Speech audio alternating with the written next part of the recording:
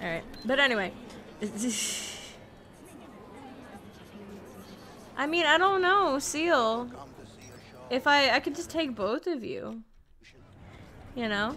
I could just I could just bring both of you into my section of the void and just cuddle. You know?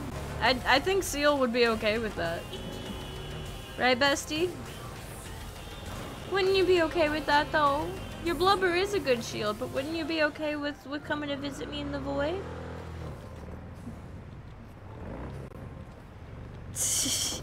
yeah, you know, all three of you. We can have just like a we can have like a party. Anybody who wants to come can come, yeah. Pun intended. These are cute hours though. These are cute hours though. Pun was not intended, but you know, it's still there. Um Exactly, see? Oh my god. but yeah, no. see, Draco? No, no, you can't escape. I give the illusion that you can escape. When in all actuality, unless I do something to ruin our contract, you're not escaping me.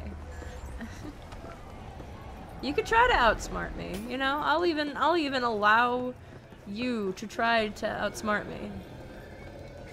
But you're not getting out of this that easily.